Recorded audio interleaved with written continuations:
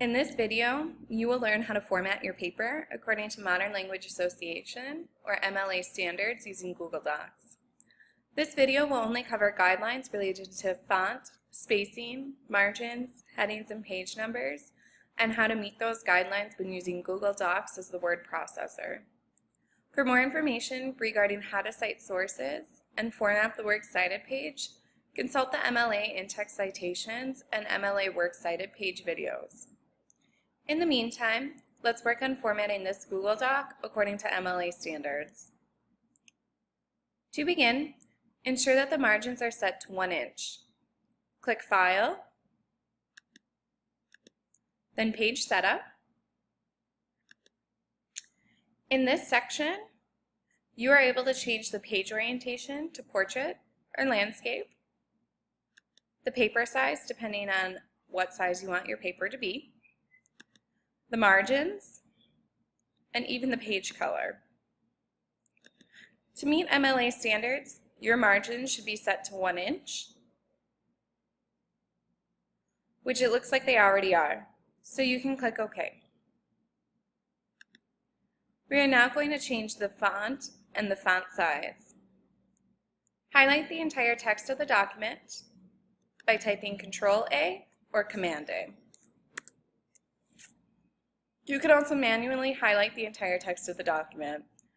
Once you have all of the text highlighted, click the Font toolbar. Right now it's set to Arial. You will need to change this to Times New Roman. You will now change the font size to 12 point. It looks like we are ready to change the spacing. If the text of your document is no longer highlighted, click Control A or Command A again. This time you're going to click Format and then highlight line spacing. Here you'll be able to select how much space you want in between each line of the text. To meet MLA standards, you should click double.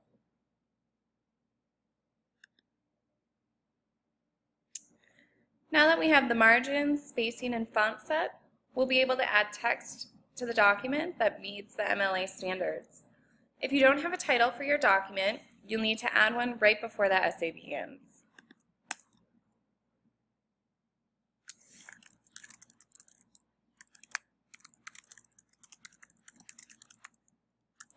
Capitalize all major words in the title. Highlight the title only and center it by typing Command Shift E or clicking the icon here. Even before the title, you also need to type a heading that includes your first and last name on the first line, teacher's name on the second line, the class on the third line, and the date on the final line, formatted by date, month, and then year. I'll give you an example. Again, it's your first and last name, teacher's name, the class, and then the year and date,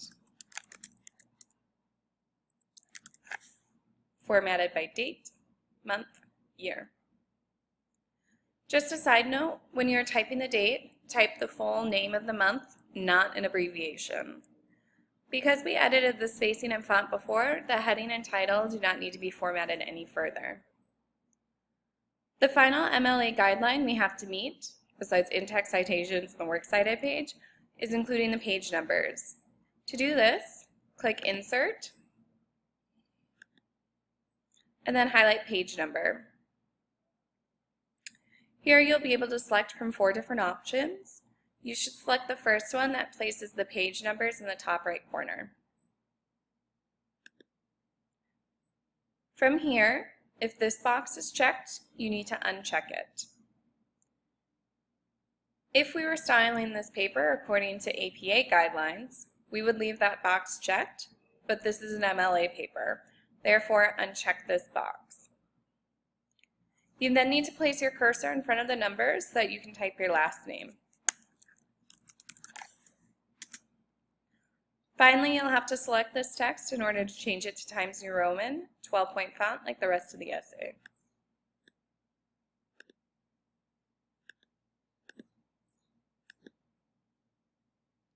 Once you have done this, it's always a good idea to check the other pages of your document in order to ensure that it worked properly.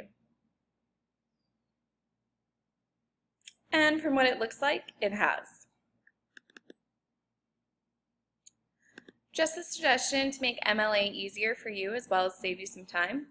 Once you complete the steps in this video, you'll have a properly formatted MLA paper. You can make a copy of the document and save it as an MLA template so that you don't have to go through the entire process each time you begin or finish an essay. I know this was a short video and it doesn't take too long to adjust the settings, but when you're in college and have four papers to write in one night, every second counts. It will also ensure that you don't miss a tiny detail.